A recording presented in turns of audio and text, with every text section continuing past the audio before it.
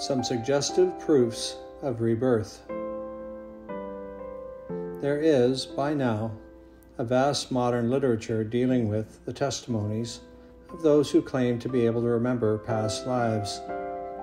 I suggest that if you really want to come to some serious understanding of rebirth, you investigate this open mindedly, but with as much discrimination as possible. Of the hundreds of stories about reincarnation that could be told here, there is one that particularly fascinates me. It is the story of an elderly man from Norfolk in England called Arthur Flowerdew, who from the age of 12 experienced inexplicable but vivid mental pictures of what seemed like some great city surrounded by desert.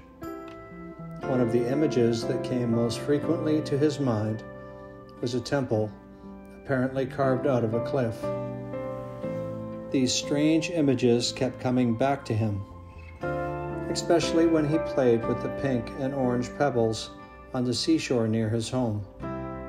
As he grew older, the details of the city in his vision grew clearer, and he saw more buildings, the layout of streets, soldiers, and the approach to the city itself through a narrow canyon.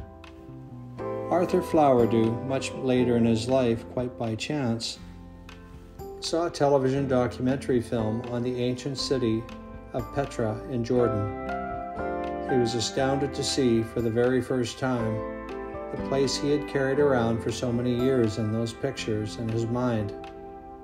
He claimed afterward that he had never even seen a book about Petra However, his visions became well known, and an appearance in a BBC television program brought him to the attention of the Jordanian government, who proposed to fly him to Jordan, along with a BBC producer, to film his reactions to Petra. His only previous trip abroad had been a brief visit to the French coast. Before the expedition left, Arthur Flowerdew was introduced to a world authority on Petra, an author of the book on the ancient city, who questioned him in detail, but was baffled by the precision of his knowledge, some of which he said could only have been known by an archaeologist specializing in this area. The BBC recorded Arthur Flowerdew's pre visit description of Petra so as to compare it with what would be seen in Jordan. Flowerdew singled out three places in his vision of Petra a curious volcano shaped rock on the outskirts of the city, a small temple where he believed he had been killed in the first century BC, and an unusual structure in the city that was well known to archaeologists, but for which they could find no function. The Petra expert could recall no such rock and doubted that it was there when he showed Arthur Flowerdew a photograph of the part of the city where the temple had stood, he astounded him by pointing to almost the exact site.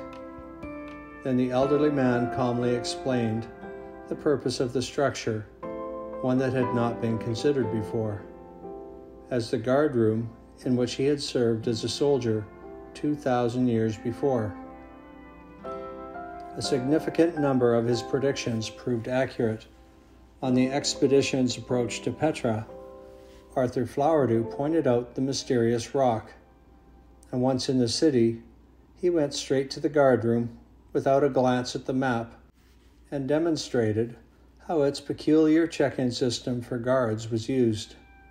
Finally, he went to the spot where he said he had been killed by an enemy spear in the first century BC.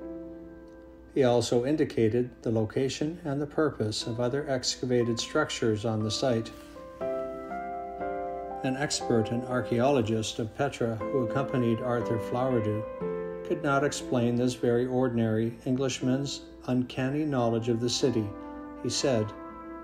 He's filled in details, and a lot of it is very consistent with known archaeological and historical facts and it would require a mind very different from his to be able to sustain a fabric of deception on the scale of his memories, at least those which he's reported to me.